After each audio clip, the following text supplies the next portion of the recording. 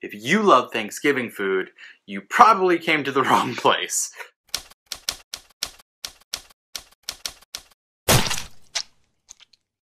Hey guys, I'm Devin de Lima.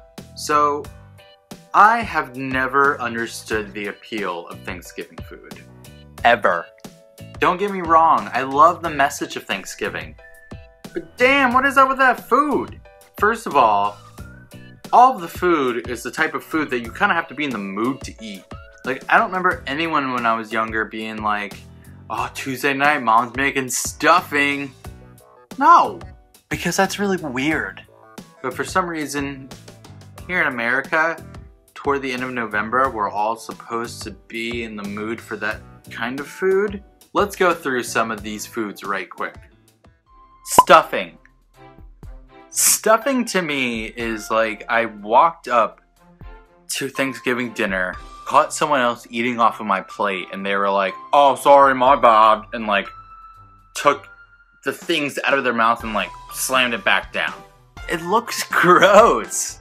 All personal taste aside, I'm pretty sure this is what mother birds feed their young. If you don't know what that means, Google it. Cranberry sauce. This used to be my absolute favorite as a kid. Why? Because it's so sweet. Cranberry sauce is it like toes that line between entree and dessert.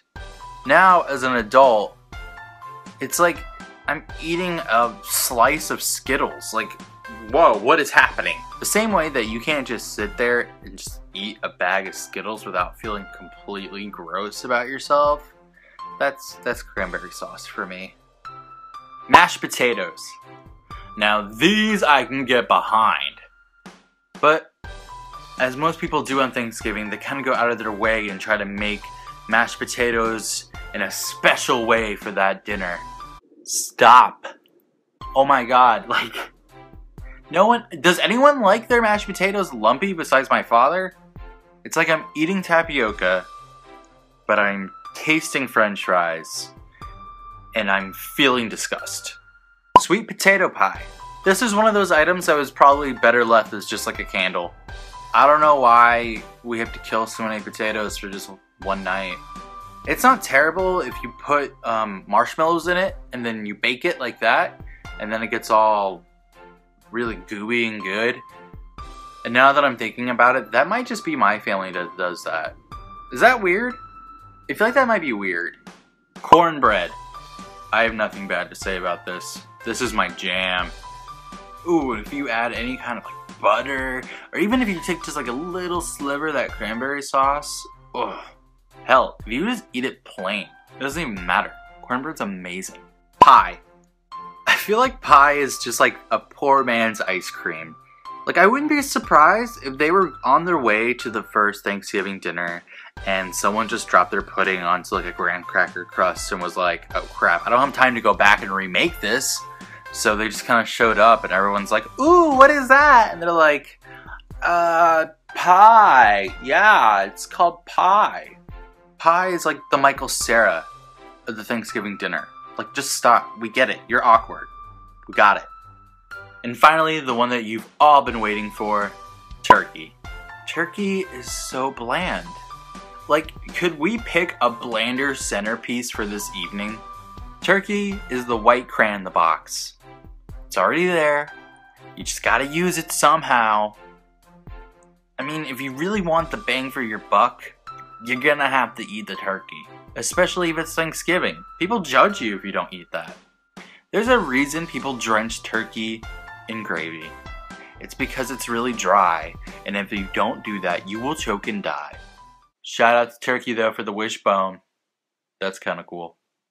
Alright, that's all I had time for today. I hope I didn't offend you guys too badly.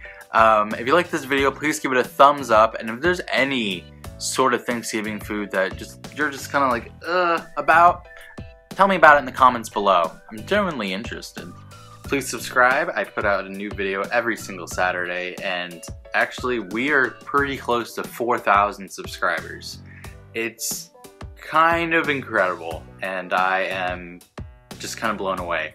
So let's keep that number going up, alright? I love you guys, and I will see you next Saturday for a brand new video. Later.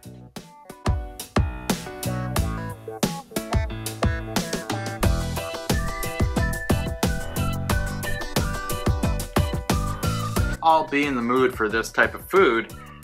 that rhymes! oh my god, I am so hungry right now. I should not be doing this topic. All taste buds aside, what? Oh, I'm so hungry.